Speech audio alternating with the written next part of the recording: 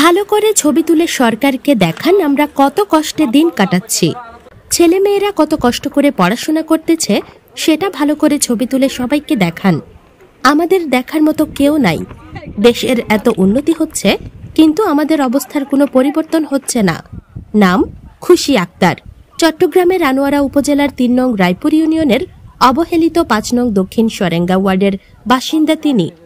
নিজের মেয়েকে নিয়ে খুব ভয়ে ভয়ে দেখে শুনে পা ফেলে উপজেলার তিন নং রায়পুর ইউনিয়ন এবং এগারো নং জুইদণ্ডী ইউনিয়নবাসীর গলার কাটা সাপ মরা খালের উপর বাঁশের সাঁকোটি পার হচ্ছিলেন। এমন সময় ছবি তুলতে দেখে নিজেদের দুঃখ দুর্দশার কথা এইভাবে তুলে ধরেন খুশি আক্তার নামের আটাশ বছর বয়সী এই মহিলা। শুধু খুশি নন, সাপমরা খালের এই বাঁশের সাঁকোটি নিয়ে কষ্টের গল্প শুনিয়েছেন দুপারের অনেকেই।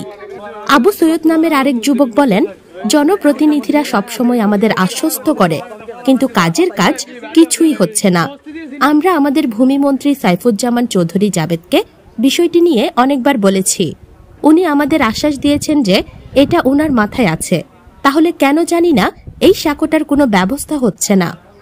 জানি না এই দুর্ভোগের শেষ কোথায়। আমাদের পূর্বপুরুষ ধরে এই কষ্ট ভয়ে বেড়াচ্ছি আমরা। জানি না আর কত যুগ ধরে এই ভোগান্তি বয়ে বেড়াতে হবে। যে স্কুলে কেন যাও না? বলো। অনেক ভয় লাগে।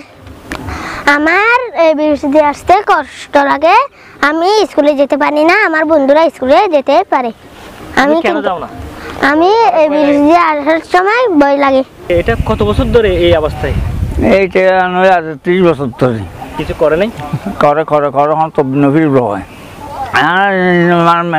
ইয়াতে গৈ বিচাই মাথায় আছে মাথায় যে কথা হইতেছে আর কিছু হয় না আর দিব দিব করে দিবে রত সরেজমিনে উপজেলার তিন নং রায়পুর ইউনিয়নের পাঁচ নং দক্ষিণ সরেঙ্গা ওয়ার্ড এবং এগারো নং জুই জুইদণ্ডী ইউনিয়নের সাত নং খুরো স্কুল ওয়ার্ডের মধ্যবর্তী সাপমরা খালের উপর বাঁশের সাঁকোটির দুপাশ ঘুরে দেখা যায়।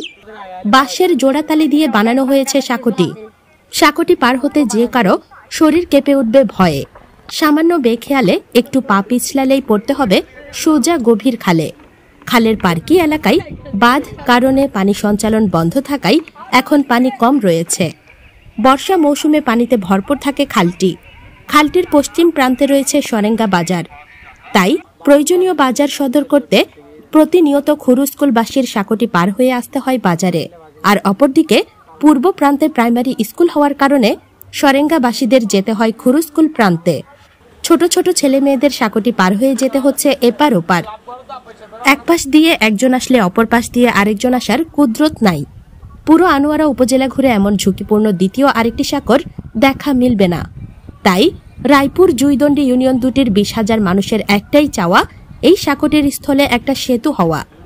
সাপমরা খালের উপর বাঁশের সাঁকোটি নিয়ে আনোয়ারা উপজেলা নির্বাহী কর্মকর্তা মোহাম্মদ ইস্তিয়াক ইমনের সাথে যোগাযোগ করা হলে তিনি বলেন উপজেলার সাপমারা খালে একটি ব্রিজ নির্মাণের জন্য সংশ্লিষ্ট মন্ত্রণালয়ে প্রস্তাব পাঠানো হয়েছে।